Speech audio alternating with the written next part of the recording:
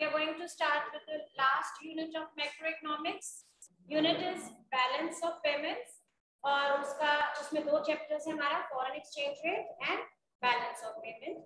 So we will be doing uh, foreign exchange rate before our PG. बाकी जो है वो हम PG two के बाद करेंगे ठीक है Now see what is foreign exchange rate. For that you should know every country has its own currency. है ना हर कंट्री की करेंसी अलग अलग है इंडिया में कौन सी करेंसी है? रुपी है। यूएस में कौन सी है? डॉलर है। इंग्लैंड में पाउंड है। यूरोपियन कंट्रीज़ में यूरो है। ठीक है? चाइना में येन है। जापान में येन है और चाइना में युआन ठीक है?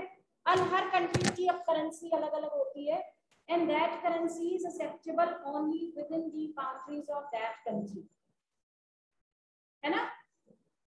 अगर इंडिया की करेंसी रुपी है। तो वो इंडियन बाउंड्री में ही एक्सेप्टेबल है। आप नेपाल में, पाकिस्तान में या यूके में या यूएस में जाके रुपी में ट्रांजेक्शन नहीं कर सकते। So what would happen if you want to trade other countries अगर आपको, आप जैसे हमारी कंट्री है, वो पेट्रोल इंपोर्ट करती है सऊदी अरेबियन कंट्री से। अब वो, उनसे हमने इंपोर्ट किया, यानी हमने उनको पेमेंट करनी है। वो रुपी में पेमेंट एक्सेप्ट नहीं करेंगे। क्यों नहीं करेंगे? क्योंकि रुपी उनकी कंट्री में एक्सेप्टेबल नहीं है। एक्सेप्टेबल नहीं। तो फिर हमें क्या करना पड़ेगा? हमें उनकी करेंसी में ही उनको पेमेंट करनी पड़ेगी। पर हमारे पास तो उनकी करेंसी नहीं है। तो हम क्या करेंगे? हम अपनी करेंसी को उनकी करेंसी में कन्वर्ट करेंगे। So how to convert one currency into another currency? That gives rise to the problem of determination of foreign exchange rate. What is exactly foreign exchange rate? Whether it is the rate at which one currency is converted into another currency. एक dollar की value एक rupee के बराबर नहीं है या एक pound की वैल्यू एक डॉलर के बराबर नहीं है अगर सेम वैल्यू होती, उनकी परचेजिंग पावर सेम होती तो फिर प्रॉब्लम ही क्या होती? फिर रुपी की जगह डॉलर एक्सेप्ट कर लो डॉलर की जगह रुपी ले लो। अगर एक रुपए से भी एक पेन आना है और एक डॉलर से भी एक पेन ही आना है तो फिर प्रॉब्लम क्या है? फिर तो हर करेंसी हर कंट्री में एक्सेप्ट हो जानी चाहिए। लेकिन हर कंट्री में हर करेंसी एक्सेप्टेबल क्यों नहीं है? क्योंकि हर करेंसी की वैल्यू डिफरेंट है। उसकी परचेजिंग पावर डिफरेंट है। तो इसीलिए हर करेंसी की वैल्यू दूसरी करेंसी में जब हम कन्वर्ट करते हैं तो उसकी वैल्यू डिफरेंट होती है। So what exactly is foreign exchange rate it is the rate at which one currency is converted into another currency for example अगर आपने यूएस से कोई गुड्स इंपोर्ट करने हैं, उसके लिए आपको क्या चाहिए? डॉलर चाहिए।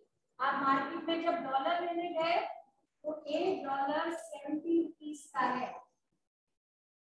ठीक है? यानी to buy one dollar you have to pay money in terms of rupees how much money seventy rupees so this is rate of one currency in terms of an other currency this is foreign exchange rate ठीक है? Foreign exchange क्या हुई?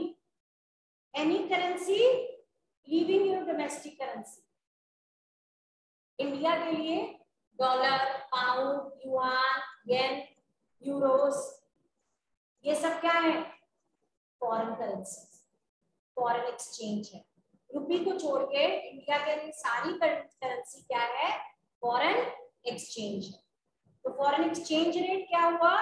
Rate at which foreign exchange is converted into domestic currency. Or rate at which one currency is converted into another currency. Or we can say simply, मैंने कहा एक dollar seventy rupees का है। यानी अगर आप मार्केट में गए डॉलर लेने के लिए तो आपको कितने पैसे देने पड़े? सेवेंटी इसी तरह लेटर सपोज़ मैंने आपको बोला, बेटे, ये मेरे को पेन ला देना मार्केट से। आप मेरे लिए पेन ले आए। ठीक है, मैंने आपसे पूछा pen how much you paid for pen आपने कहा सेवेंटी रुपीज़ तो मैं क्या एज्यूम करूँगी? सेवेंटी रुपीज़ पेन का क्या है? प्राइस है ना? आपको एक पेन खरीदने के लिए कितने रुपए देने पड़े? सेवेंटी तो वो क्या हुआ? पेन का प्राइस हुआ?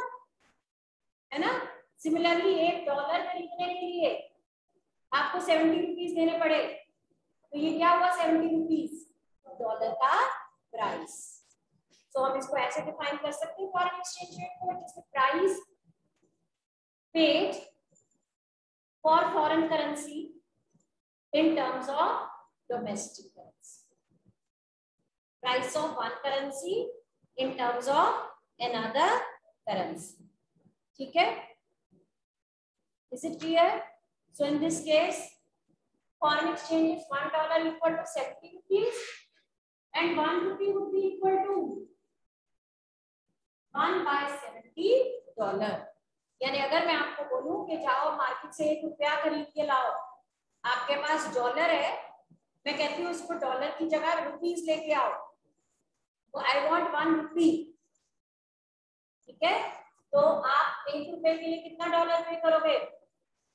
डॉलर का सेवेंटियथ हिस्सा so what is the value of rupee? 1 by 70 dollar okay now the question is how this exchange rate is determined anyone any idea how do we fix कि भी एक dollar seventy rupees का है कैसे fix होगा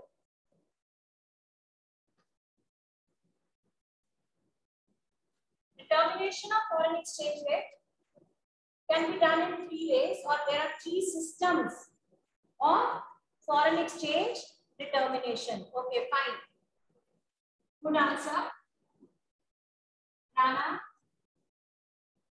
there are three systems of determination of foreign exchange rate. One, fixed exchange rate system. Another, flexible exchange rate system, also known as floating exchange rate. आप mask पहन लो बेटे मेरा तो distance का ज़्यादा है आपसे third managed floating rate of exchange. Fixed rate of exchange, though it has been discarded, but still it is you know important for us to study it. Fixed exchange rate में दो तरह के rate of exchange होते हैं. One, gold standard system of exchange. Gold standard system of exchange ये बेटे gold standard system of exchange जो है 1870 से लेके 1914 तक ये सिस्टम में रहा प्रेवलेंट रहा। उसके बाद इसको डिस्कार्ड कर दिया गया। उसके बाद ब्रिटेन गुड सिस्टम ऑफ़ एक्सचेंज प्रेवलेंस में आया। Still students are entering from 1944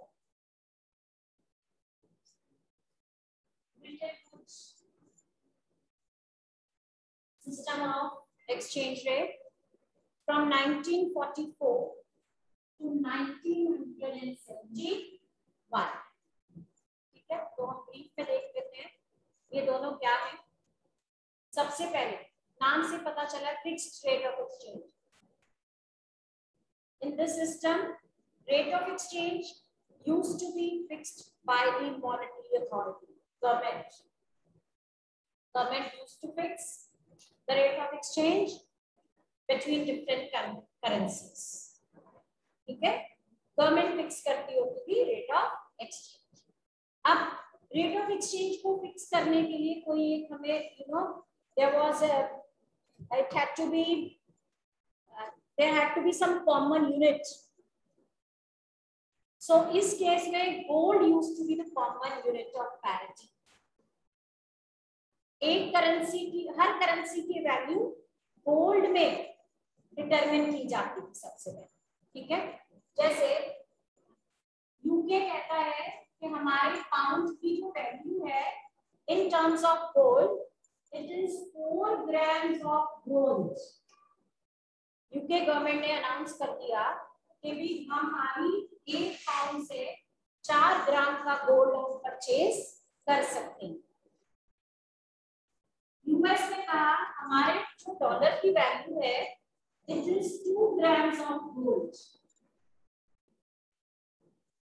US ने अपनी करेंसी की वैल्यू जो गोल्ड में की वैल्यूएशन की, उन्होंने कहा one dollar would be equal to या would be able to purchase two grams of gold अब आप डॉलर और पाउंड की वैल्यू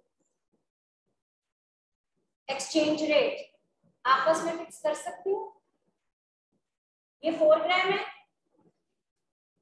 वन पाउंड से फोर ग्राम गोल्ड आता है। कितने? डॉलर से फोर ग्राम गोल्ड आएगा।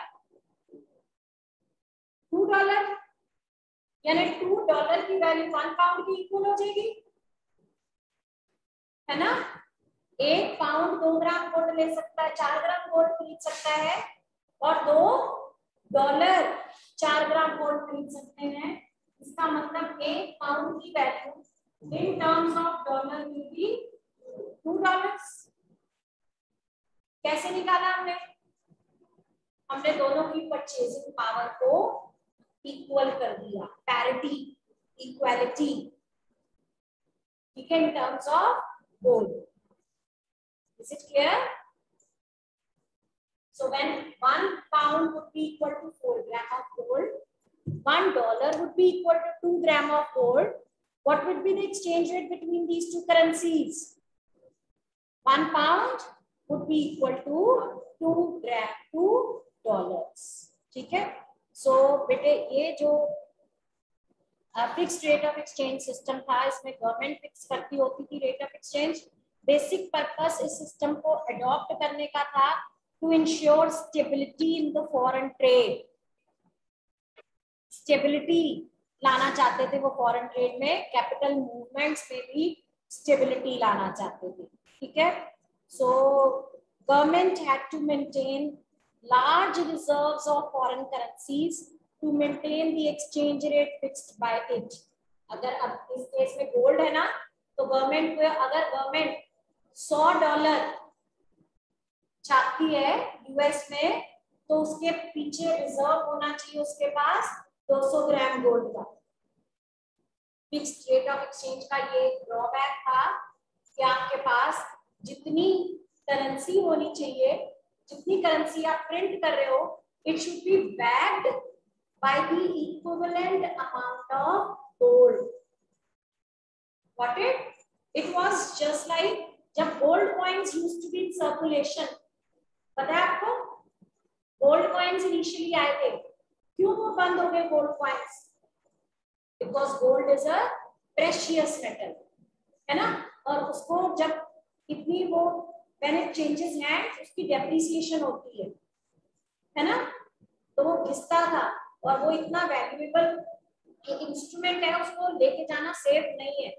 तो इसीलिए गोल्ड को रिप्लेस कर दिया पेपर करेंसी से, लेकिन पेपर करेंसी की वैल्यू गोल्ड में डिटरमिन थी।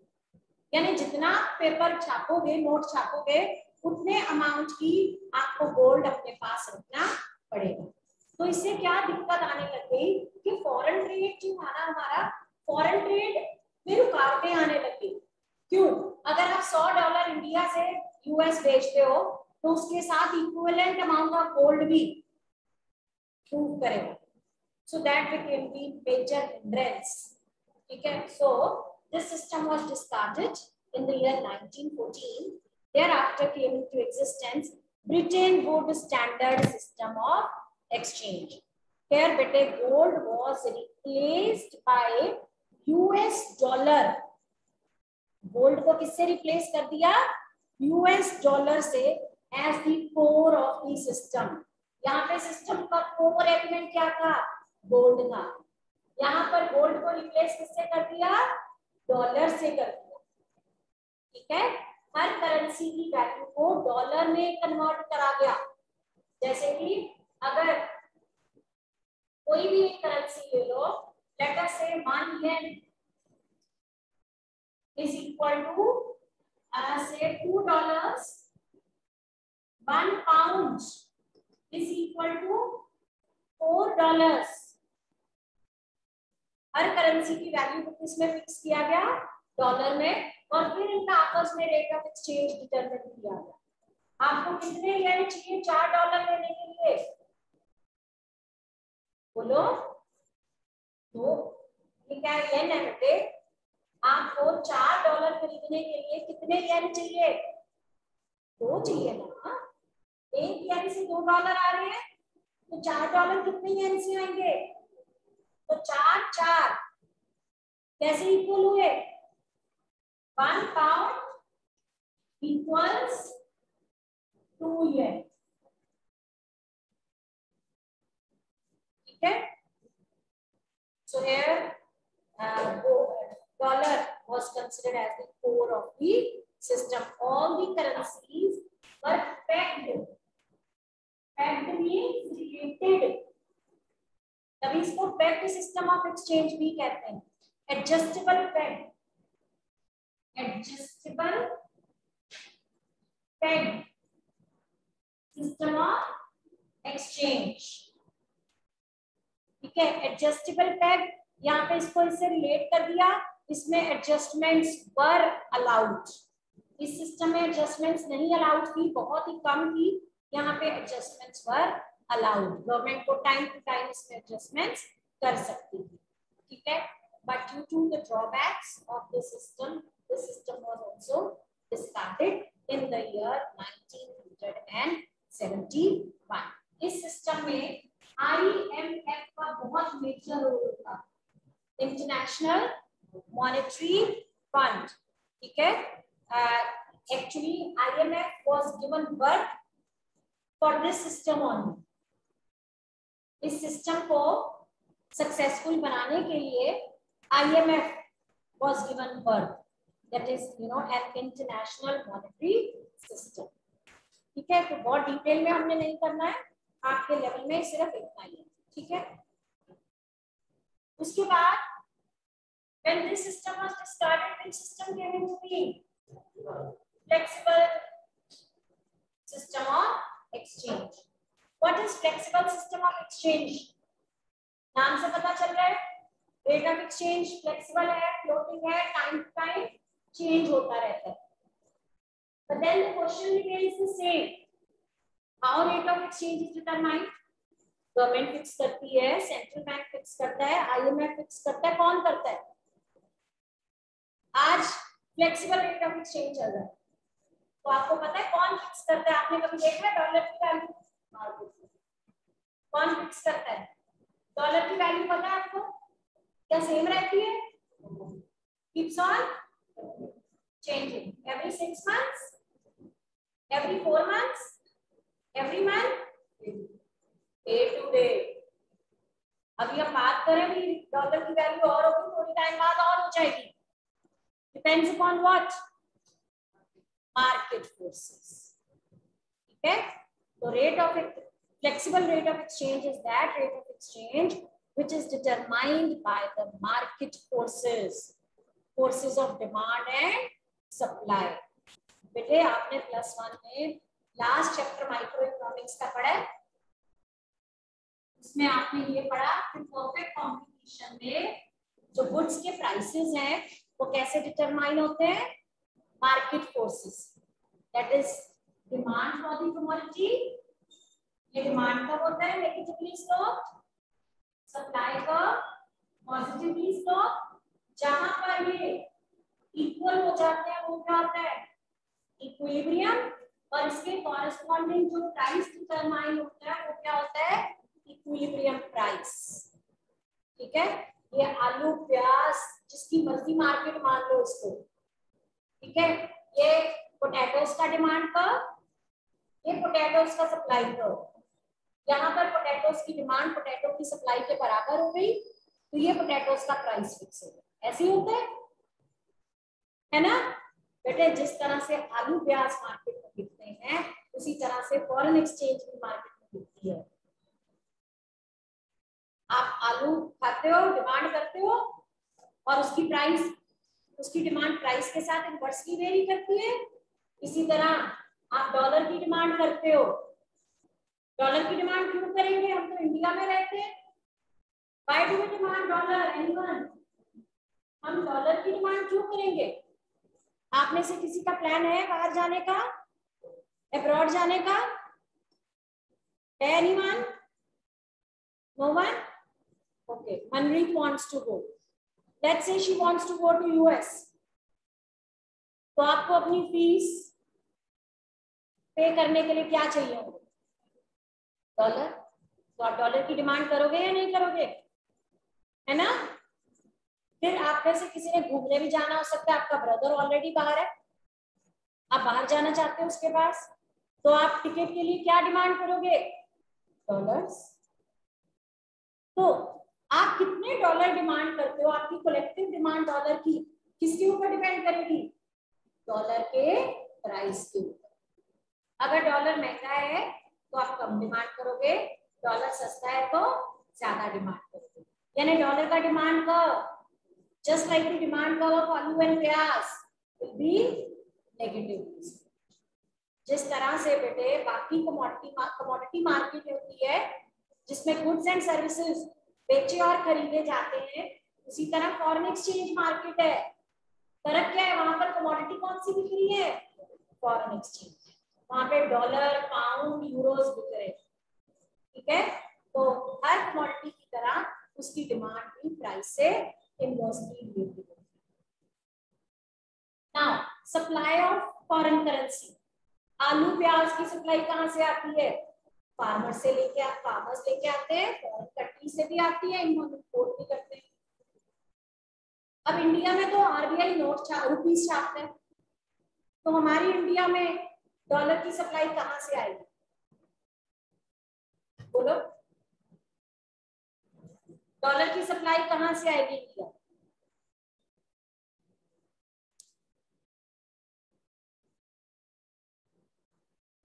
सोचो हाँ okay when we would export goods we would get payment in terms of dollar supply आ गई और आप बाहर जाओगे, अपने पेरेंट्स को मनी लिमिट करोगे? या आप वहाँ आपने एक फॉर्म खोली, आप उसकी एक ब्रांच इंडिया में खोलना चाहोगे? इन्वेस्टमेंट के तौर पे foreign investment so all these bring supply of foreign exchange now, supply of foreign exchange, is it positively or inversely related to price? Inversely अच्छा मतलब कोई भी कमोडिटी आलू प्याज है, अगर उसका प्राइस बढ़ रहा है तो आप ज़्यादा बेचोगे कि कम बेचोगे? आप एक डीलर हो, आलू में डील करते हो, आपने गोडाउन में आलू रखे हुए सौ टन, ठीक है? आलूओं का प्राइस बढ़ गया। Would you be ready to sell more और लेस और क्यों? ज़्यादा प्रॉफिट कमाना चाहोगे? यानी हाई प्राइस पे सप्लाई ज़्यादा होगी तो इनवर्सली रिलेटेड हुआ या पॉजिटिवली समझा? पॉजिटिव इसी तरह पे फॉरेन एक्सचेंज की बात है। अगर प्राइस बढ़ेगा फॉरेन एक्सचेंज का तो इसकी सप्लाई भी ज़्यादा आएगी। ठीक है? जब आपका ब्रदर पहले गया था तो एक डॉलर फिफ्टी का था। ठीक है? वो आपको सौ डॉलर भेजता था। अब आप बोलोगे कि एक डॉलर सेवेंटी का हो गया, मेरे को ज़्यादा पैसे दे। ठीक है? उनमें सेंड यू मोर या एक डॉलर ऐसे समझो। डॉलर की परचेसिंग पावर इंडिया में आके बढ़ गई। तो ज़्यादा लोग इंडिया में आएँगे एज टूरिस्ट एज इन्वेस्टर्स और not so they will bring in more supply of foreign exchange so इसका मतलब supply of foreign exchange is positively related to rate of exchange तो ये हो गया डॉलर का डिमांड कर्व ये हो गया डॉलर का सप्लाई कर्व यहाँ पे demand becomes equal to supply ये हो गया इक्विलिब्रियम ये हो गया rate of exchange this would be one dollar equal to seventy rupees how is this rate of exchange determined by the forces of demand and supply. How it keeps on fluctuating? अभी let us say US ने अपनी direct flights allow कर दी तो students कहाँ जाना शुरू कर देंगे? जो यहाँ पे ऑनलाइन पढ़ रहे हैं, या नए बच्चे जिन्होंने जाना है तो डॉलर का डिमांड क्या बढ़ जाएगी इंक्रीज हो जाएगी? Increase means shift towards right same price पे ज़्यादा डॉलर की डिमांड होगी ना? आप जाने की करोगे, ठीक है? तो यहाँ सप्लाई नहीं अगर तो रेट ऑफ़ यहाँ पे आ गया इक्विलिब्रियम तो रेट ऑफ़ एक्सचेंज क्या हो गया? ओआर वन यानी आप डॉलर का प्राइस हो गया से 75 रुपीस पहले कितना था? 70 अब कितना हो गया? 75 कैसे बढ़ गया market forces Here it was one dollar equal to 70 rupees. Here it is one dollar equal to है? सो रेट ऑफ़ जो रेट ऑफ़ एक्सचेंज डिटरमाइन होता है मार्केट फोर्सेस से, उसको हम फ्लेक्सिबल रेट ऑफ़ एक्सचेंज भी कह देते हैं फ्लोटिंग रेट ऑफ़ एक्सचेंज भी कह देते हैं पार रेट ऑफ़ एक्सचेंज भी कह देते हैं मार्केट रेट ऑफ़ एक्सचेंज भी कह देते हैं। ठीक है? इक्विलिब्रियम रेट ऑफ़ एक्सचेंज भी कह हैं। This is flexible rate of exchange ठीक है?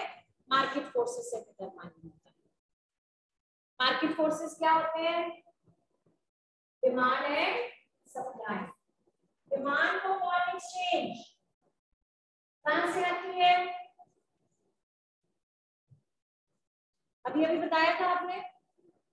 फॉरेन एक्सचेंज की डिमांड क्यों करते हो? टूरिज़्म बाहर घूमने जाना है?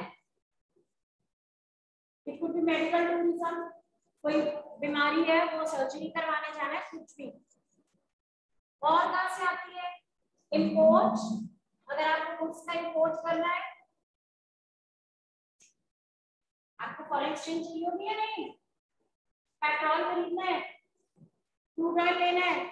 टीवी खरीदना है बाहर से। तो फॉरेन एक्सचेंज चाहिए। Demand foreign exchange for import of goods and services. For making investment abroad investment के लिए भी चाहिए आपको। और फॉर रीपेमेंट ऑफ़ लोन आपने यूएस से लोन लिया हुआ था दस साल का। दस साल पूरे हो गए। अब आपको वो लोन वापस करना है दस हज़ार डॉलर का। तो आपको दस हज़ार डॉलर खरीदने के लिए डॉलर की डिमांड राइज हो जाएगी या नहीं होगी? ठीक है? और बताओ। और किस लिए डिमांड चाहिए। रिमिटेंसेस आपका ब्रदर बाहर पढ़ने गया हुआ है, उसको पैसे भेजने डॉलर भेजने। गिफ्ट ग्रांट्स डोनेशन रिमिटेंसेस और वेंचर कैपिटल ये नहीं सुना होगा आपने। वेंचर कैपिटल कह लो या स्पेक्यूलेटिव पर्पस कह लो। स्पेक्यूलेटिव या वेंचर कैपिटल का मतलब है क्योंकि डॉलर का रेट ऑफ़ एक्सचेंज फ्लक्चुएट होता रहता है तो कई बार लोग होल्ड करके रख लेते हैं उसको, सत्तर रुपए का ले लिया सेवेंटी फाइव का बेच लिया देर बाय अर्निंग प्रॉफिट ठीक है so for any of these purpose you may demand foreign exchange That's all.